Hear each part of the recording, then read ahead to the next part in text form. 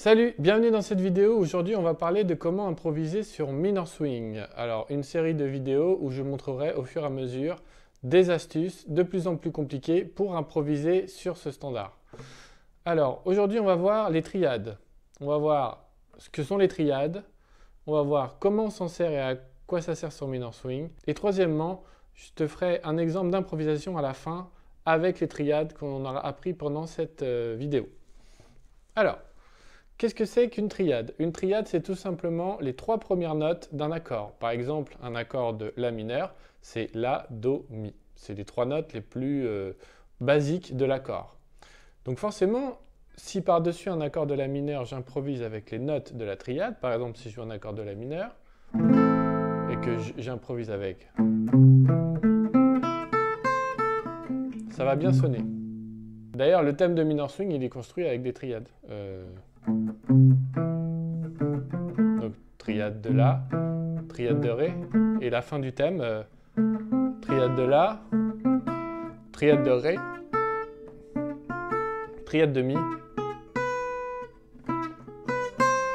puis on revient en La. Donc les triades, c'est pour ça que ça sonne aussi bien, c'est parce que tout simplement, c'est les notes les plus importantes des accords. Alors des triades, il y en a quatre types. Là, on va en voir deux aujourd'hui. On va voir les triades mineures et les triades majeures. Les triades mineures, ça va être pour improviser sur minor swing sur les accords de La mineur et Ré mineur. Et les triades majeures, ça va être pour improviser sur l'accord de Mi 7. Pour pouvoir jouer une triade sur le manche, on va utiliser des schémas, c'est-à-dire des dessins, des dessins avec, la plupart du temps, on a le manche dessiné avec les points où mettre les doigts. Donc par exemple, pour la mineure, on va avoir ce schéma-là. Sur Ré mineur, celui-là. Et sur Mi 7, celui-là. Alors, il en existe plusieurs des schémas, évidemment, pour chaque arpège, pour pouvoir couvrir tout le manche. L'idéal, c'est de regrouper les schémas que l'on connaît des arpèges dans un même endroit du manche pour pouvoir passer d'un accord à un autre plus facilement. Donc aujourd'hui, on va travailler entre la case 4 à peu près et la case 8. On va travailler dans cette zone-là du manche. Donc je vais te montrer un par un les schémas des différents accords de mineur swing. On commence avec la mineur 6. Donc on va apprendre la triade de la mineur. Donc ça commence comme ça. Cinquième case de l'accord de mi grave, huitième case, septième case de l'accord d'en dessous, septième case encore de l'accord d'en dessous. Après, corde de sol, cinquième case, corde de si, cinquième case, corde de mi, cinquième case, et sur la même corde, on fait deux notes, case 8.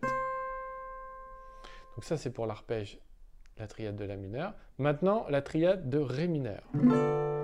Donc on commence sur la cinquième case de la sixième corde, puis cinquième case de la corde d'en dessous, huitième case de la même corde, on change de corde, septième case, on change de corde, septième case, on change de corde, sixième case, puis cinquième case de la première corde. Et maintenant, on va voir l'arpège de Mi7. Alors l'arpège de Mi7, il commence à la quatrième case de la corde de Mi grave.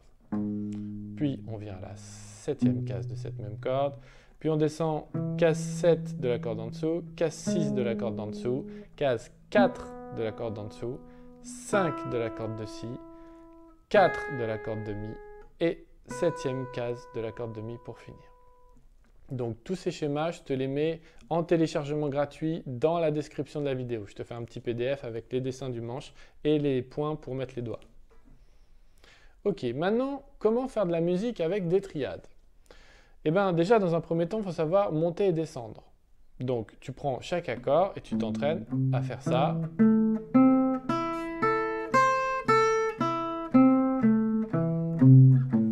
Pour chaque triade. Après, tu choisis un accord et tu vas t'entraîner à essayer d'inventer des phrases et de faire de la musique avec. Donc par exemple, tu peux répéter des notes, tu peux répéter des séquences de notes. Tu peux sauter des notes, par exemple. Tu peux mettre du rythme. Et ça, c'est ce qui fait le plus de musicalité.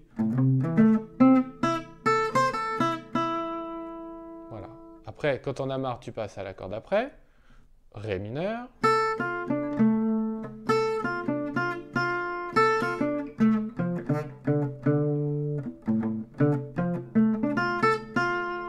Et puis quand on a marre, tu passes au troisième accord, Mi 7.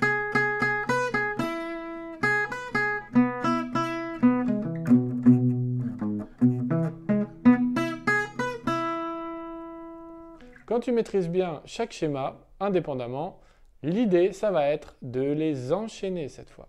Donc par exemple, tu fais une petite phrase sur le premier accord. Puis après, tu te dis, OK, maintenant je passe au deuxième arpège, à l'arpège de Ré. La note la plus proche, elle est là. Et je refais une phrase. Puis je change encore d'arpège, je vais vers Mi 7. Puis je reviens sur la mineure. Et je suis comme ça les accords de la grille qui passent. Une fois que tu maîtrises bien ça, alors c'est long, hein, ça prend du temps, ça va peut-être te prendre euh, deux semaines avant d'arriver à vraiment euh, faire euh, des, belles phrases et puis de, bien mentaliser les changements d'accords et de schémas. Donc une fois que tu maîtrises ça, tu te mets un petit métronome lent et tu essayes de penser à la grille qui passe dans ta tête. Donc par exemple, tu penses au début de la mineure, Ré mineur, puis Mi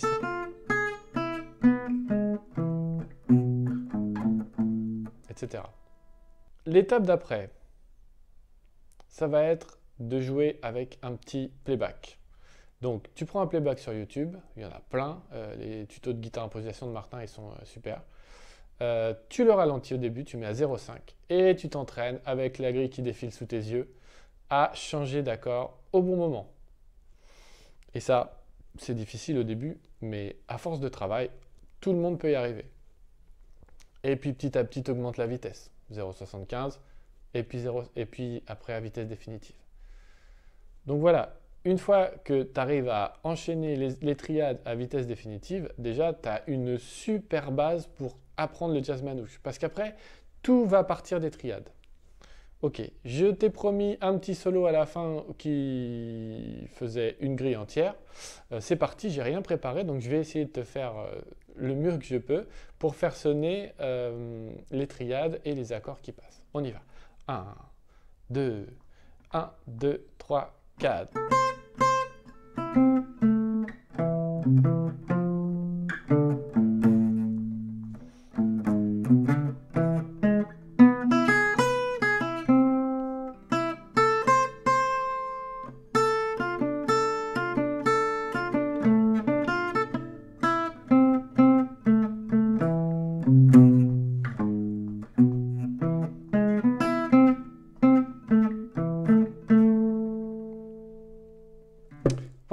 Si cette vidéo t'a plu, tu t'abonnes, tu mets un petit pouce bleu, et puis je te dis à bientôt pour une prochaine vidéo.